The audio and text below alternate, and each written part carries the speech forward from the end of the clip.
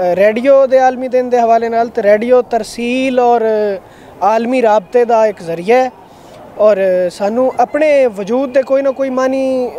ਦਰਿਆਫਤ ਕਰਨ ਲਈ ਕਿਸੇ ਦੂਸਰੀ ਆਵਾਜ਼ ਨਾਲ ਜੁੜਨਾ ਪੈਂਦਾ ਹੈ।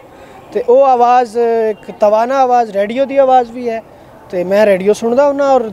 ਇਹ ਤੇ ਨਹੀਂ ਬਹੁਤ ਸੁਣੀਦਾ ਲੇਕਿਨ ਗਾਹੇ ਬਗਾਹੇ ਗੱਡੀ 'ਚ ਕਿਧਰੇ ਜਾਂਦੇ ਆਂਦੇ ਜ਼ਰੂਰ ਸੁਣੀਦਾ ਤੇ ਉਹ ਆਵਾਜ਼ ਜਿਹੜੀ ਸਾਨੂੰ ਸਾਡੇ ਵਜੂਦ ਦਾ ਕੋਈ ਮਾਨੀ ਦੱਸ ਸਕਦੀ ਹੈ ਉਹ ਰੇਡੀਓ ਤੇ ਮੁxtਲਿਫ ਪ੍ਰੋਗਰਾਮਸ ਦੇ ਜ਼ਰੀਏ ਮੁxtਲਿਫ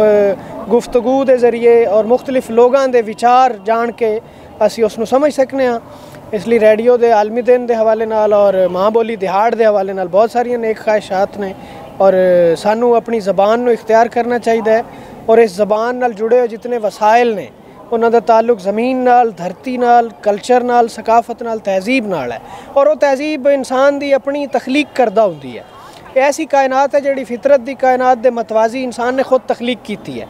ਔਰ ਜਿਹੜੀ ਸਾਡੀ ਇੰਤਹਾਈ ਤਾਕਤਵਰ ਤਖਲੀਕ ਹੈ ਉਹ ਪੰਜਾਬੀ ਜ਼ਬਾਨ ਨਾਲ ਜੁੜੀ ਹੋਈ ਹੈ ਔਰ ਮੇਰੀ ਬਹੁਤ ਸਾਰੀ ਨੇਕ ਖਾਹਿਸ਼ਾਤ ਨੇ ਬਹੁਤ ਸ਼ੁਕਰੀਆ